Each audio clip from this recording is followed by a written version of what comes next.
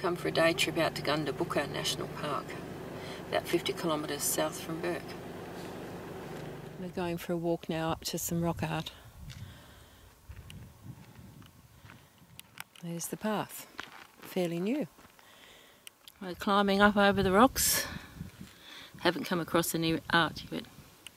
There's a great little stone path they've placed here. A lot of work's gone into creating that.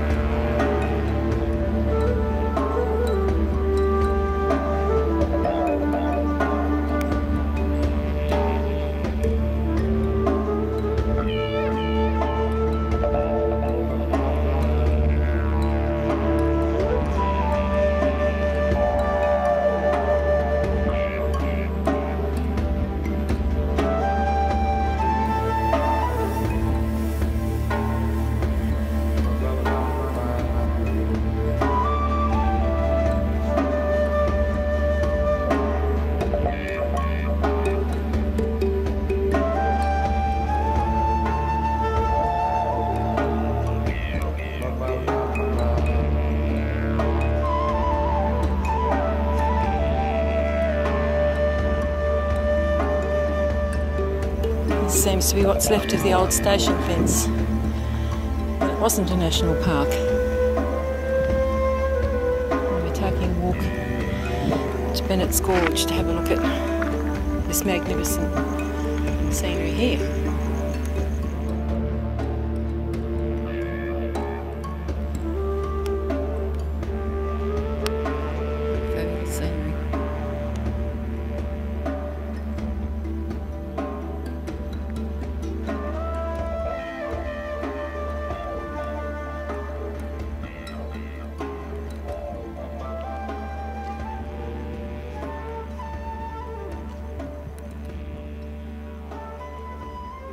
What you would see if you're up the top of Mount Gundabooka, or kind of what you would see.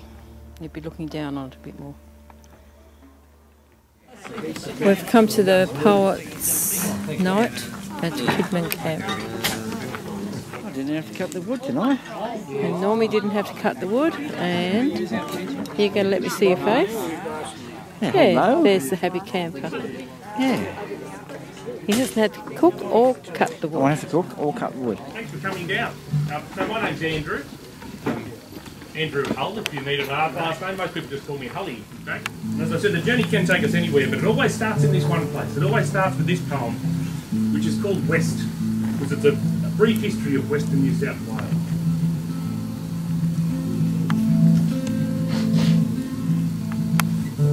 West was the chance for adventure and romance, and a life that was not handed down, where the idealistic and the unrealistic could escape from rank and from renown, with the future unplanned, save for the hope of a land borderless and open and blessed. So men without fear gave up their kin and their career to rebuild themselves out in the West, and West was the break for the women to take and trade circumspection for a real chance.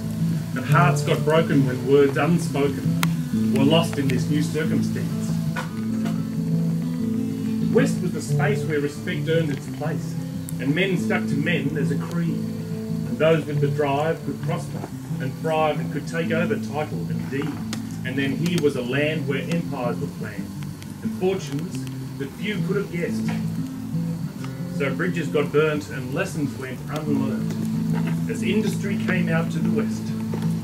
And then west was the story of power and of glory that the poets and the writers relayed. And men took to the track carrying their lives on their back to go to where the future was being made. And when there came a war, the west was the core of the spirit we considered to be the best. And in far foreign fields, that concept was steel, as this nation was defined by the West. West was the scene for seasons extreme, with plague and with drought and with flood, with panic so dry that they just blew to the sky, to fall elsewhere as mud. So with the banks undecided, the big stations divided, and the returning men claimed their bequest. Most of them would lose out to the vermin and the drought, while the rest just blew away in the west. As west ran the courses of new market forces, while dreams were still finding their way, and schemes that were tried were more often denied, and so some were unable to stay.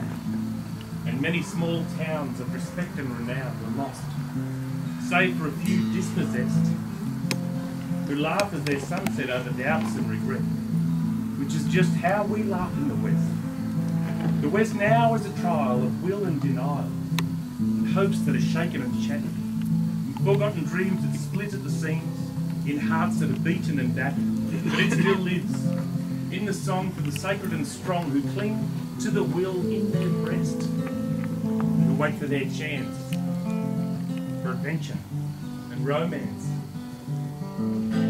that is still to be found out in the West.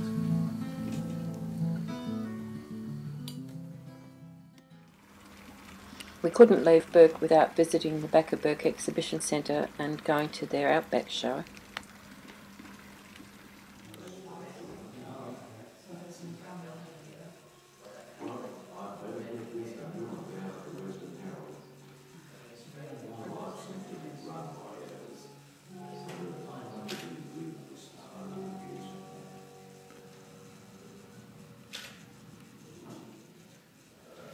Down here, that was Upfield's first place. So Kyra is huge, which is next. Yes. Um, and I think Barracuda's up here somewhere. Right. Manari, there's Louth, Yep. where the stolen bride was. Yep. Louth. Hi, how are you? Excellent. Sit anywhere you like and move the chairs if you want to. Thank you. Thank Lovely. you. Thank you. G'day. I was asked just to keep it to a few short clips, so here's just a bit of an overview of the show.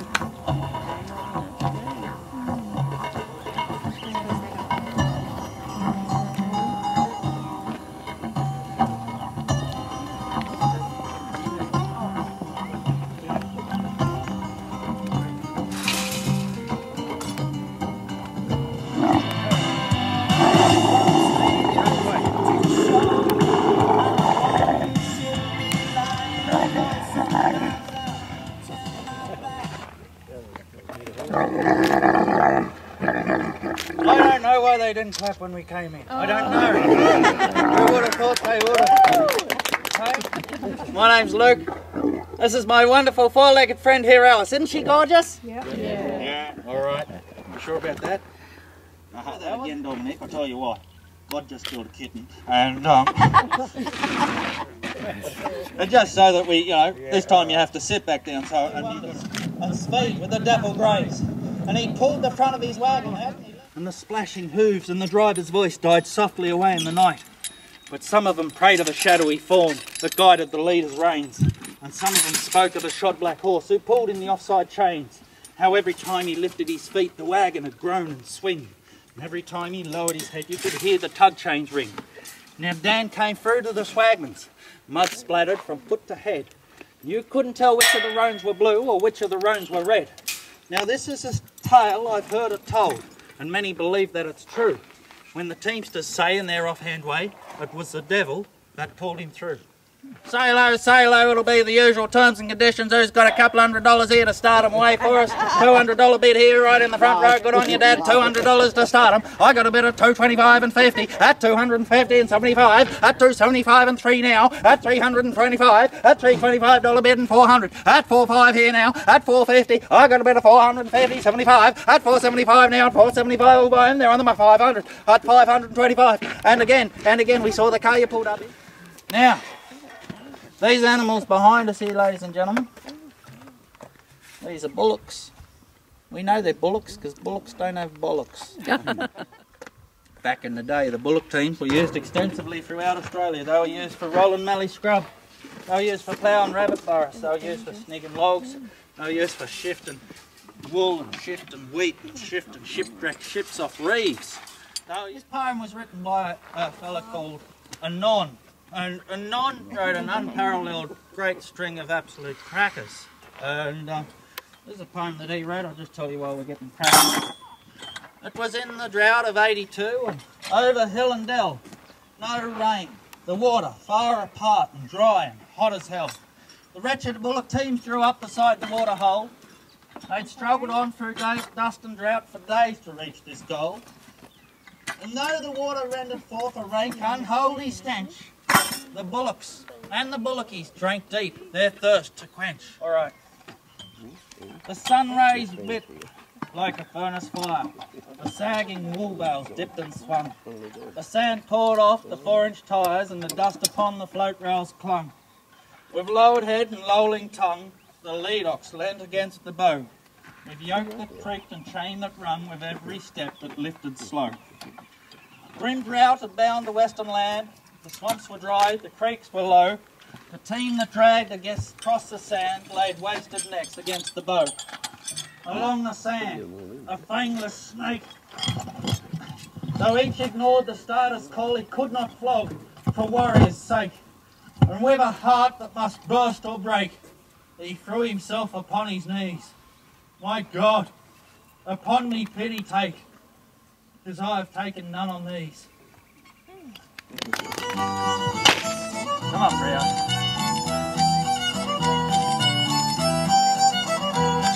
You ready? You ready? You ready? Move back, Freya. Go back here, mate. Go back. Go back, Freya. Whoa. Whoa.